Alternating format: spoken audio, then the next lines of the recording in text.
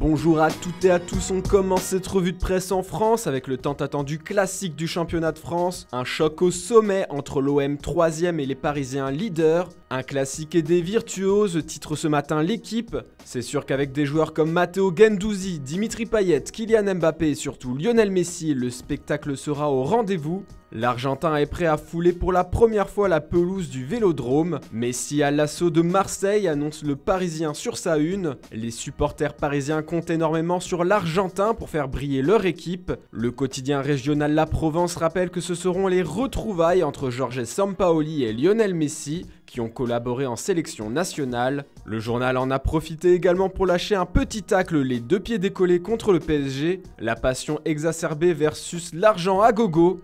Un titre qui va dans le sens des déclarations de Jorge Sampaoli, qui n'avait pas hésité à dire en conférence de presse que seul un pays pouvait offrir l'équipe qu'a actuellement le PSG. Le vélodrome va être chaud bouillant. Mais comme si ce n'était pas assez la fête du football ce dimanche, la presse espagnole nous donne rendez-vous à 16h15 pour le cultissime Classico entre Barcelone et le Real Madrid. Un Classico d'un nouvel âge, titre le quotidien espagnol Marca ce matin. Sans Lionel Messi et Sergio Ramos, ce match d'anthologie semble entrer dans une nouvelle ère. Place à la jeunesse avec Ansu Fati, Gavi et Vinicius Junior. Pour le journal AS, ce nouveau classique sera l'occasion de voir un duel de buteurs entre Memphis Depay et Karim Benzema. Du côté du journal pro-barcelonais Mundo Deportivo, c'est un classique sans peur. Le coach Blaugrana Ronald Koeman a demandé à ses joueurs du courage pour battre Madrid selon le quotidien. Carlo Ancelotti n'a pas hésité à lui répondre qu'il devrait bien avoir peur car il affronte un lion. Le Camp Nou plein à craquer est prêt pour la rencontre. On part désormais en Italie où la presse s'enflamme pour Zlatan Ibrahimovic, heureux et presque malheureux buteur. Contre Bologne, le Suédois a fait trembler deux fois les filets, dont une fois contre son camp. C'est la première fois que Zlatan marque contre sa propre équipe.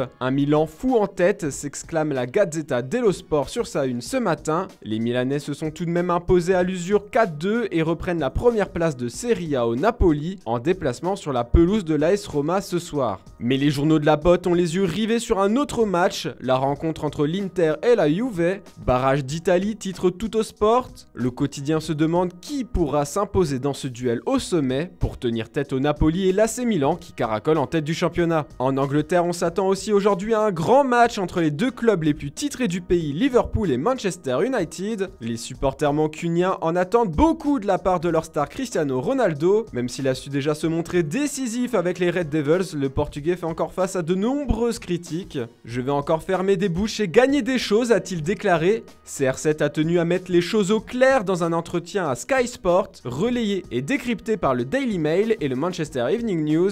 La critique fait partie du jeu, je ne m'inquiète pas pour ça, et je vois même ça comme une bonne chose pour être honnête. S'ils s'inquiètent pour moi ou s'ils parlent de moi, c'est parce qu'ils connaissent mon potentiel et ma valeur dans le football. Ça sent le triplé de Ronaldo, ça, non? Enfin, du côté des nouveaux riches de Newcastle, on réfléchit à l'avenir du club et surtout au nouveau manager. Les nouveaux dirigeants des Magpies ont décidé le week-end dernier de se séparer de l'entraîneur Steve Bruce après la débâcle contre Tottenham. Depuis, pas un seul jour n'a son lot de rumeurs concernant les potentiels nouveaux coachs prêts à assouvir les nouvelles ambitions du club du nord de l'Angleterre. Ce matin, le tabloïd Daily Mirror rapporte que Newcastle envisage de faire appel à l'ancien ailier d'Arsenal Mark Overmars comme nouveau directeur du football. Newcastle pourrait également désigner Eric Ten Hag comme nouveau manager. Le Mirror affirme qu'Overmars chercherait à amener l'entraîneur de l'Ajax avec lui. Ce dernier était l'une des cibles de Tottenham cet été avant qu'il ne finisse par engager Nuno Espirito Santo. Voilà, c'est tout pour ce dimanche. On se retrouve demain pour une nouvelle revue de presse.